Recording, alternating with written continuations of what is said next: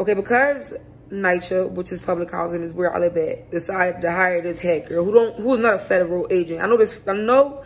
I'm not gonna say I know for sure, for sure, but I'm assuming he's not a federal agent because I just know what a federal agent required, and this ain't that.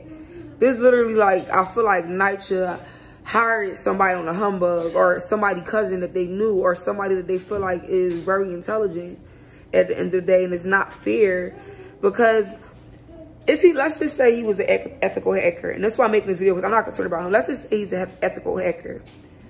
At the end of the day, when you incorporate hating, hatred, pure hatred into your ethical hacking, because what I'm doing is pretty much ethical. What I'm doing is pretty much for, you know, all of, you know, life itself or whoever is inside the earth right now. You understand what I'm saying?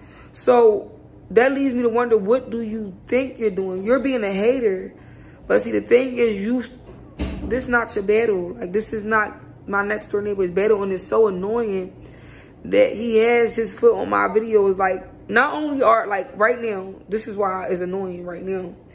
Because right now I'm pushing my breakup, which is art.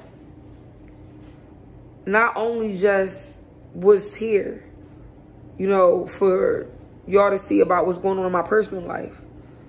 However, I'm gifted in, I'm charismatic and gifted in every area. How is like, and then he won't let up. Like, he just won't let up.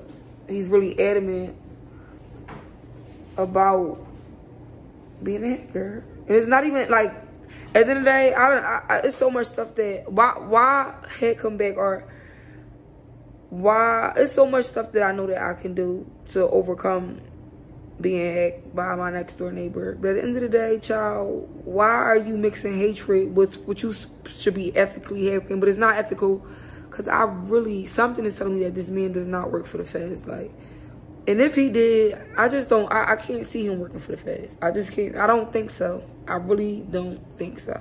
I don't. It's your girl Ari X. Are you saying? Do what you gotta do for you.